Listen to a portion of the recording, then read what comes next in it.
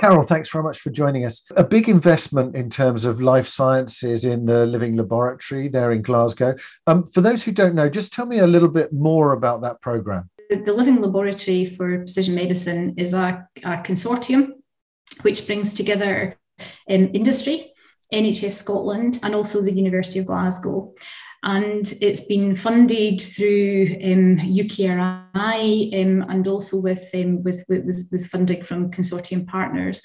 Um, what we're doing in the living in the living laboratory is we're using our collective strengths to help develop, validate, and then support the adoption of new technologies and innovations in, into healthcare. And, and we're looking to create a lot of benefits from us working together collectively on that. In terms of the program itself, Carol, um, I suppose. Uh, is that bringing together private companies, private investment? Are you looking to grow the provision there in terms of infrastructure to allow new companies to come on board? What, what, what's the aim of the project? The benefits that we're looking to get out are, are quite broad. So we're looking for some obvious things like, um, like patient benefit. We're also looking to support the NHS in Scotland with, um, with reducing the costs of healthcare. And we're looking to create assets for research in healthcare as well. But one of the important drivers through this um, Strength in Places Fund programme that we've got is really to support productivity growth in, in, in, Glasgow. And we are in the process of and already a long way towards creating a, um, a very, very strong and attractive environment for companies to come and locate with us.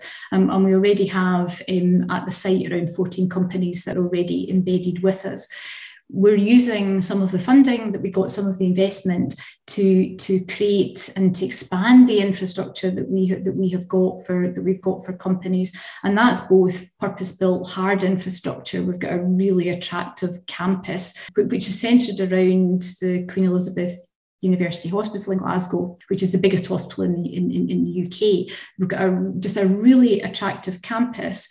Um, but, but it's not just about the hard infrastructure infrastructure. It's about how we can support companies to engage with clinicians, to engage with the NHS and to engage with, with, with, with all the, the research expertise that we've got in Glasgow as well. Is this something that you're particularly trying to build there in, in Scotland and in, in Glasgow, a sort of level of expertise around this life sciences health tech side? Yeah, so, so we, we think there's a real opportunity. We know there's a real opportunity for us to um, to develop what we already have as a as, as, a, as a centre of excellence.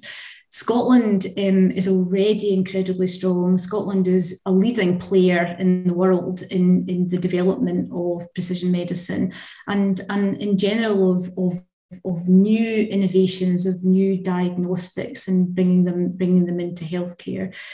One of the challenges, though, that there is globally is the challenge of how you actually bring new disruptive innovations into a healthcare system. And, and so, what we're doing is we're putting in all the support that we can work collaboratively to work with companies to help them bring these innovations um, into healthcare. And, and, um, and the, the way that we're doing that is understanding that collectively working in this triple helix partnership model between industry, with the NHS, and, and, and with academic researchers together, we can do more together than we can than we can do separately. And each of these partners have got different drivers. We've got different things that we want to get out of the partnership. But collectively, we're able to accelerate all the benefits, all the benefits together um, of, of, of working in this way. And Carol, it's interesting to see the development of um, of the life sciences sector more more broadly um, across Europe and the world. Um, so, I suppose, how do you see Glasgow in comparison to the other kind of leading centres a- around the world? Glasgow, in specifically, um, has got a real ethos of collaboration and one of the things that we're finding, particularly around the companies that we're, that we're attracting to, to come and work with us, is that everybody has this spirit of openness and um, and really looking to help each other. And that is proving to be i think very attractive for companies that are coming that, that are coming to locate um, it's been it's been referred to, uh, to me personally as it's the secret sauce that, that, that, that we've got in glasgow is is really that everybody is so supportive um, and everybody wants to say, How can I help you? And, and, and that expands to working with clinicians, working with researchers, working with, um, with, with, all the kind of business development specialists that, that, that, that we have in the area, um, just to support companies to be able to do what they do really, really well it's been a really growing sector that we've been watching,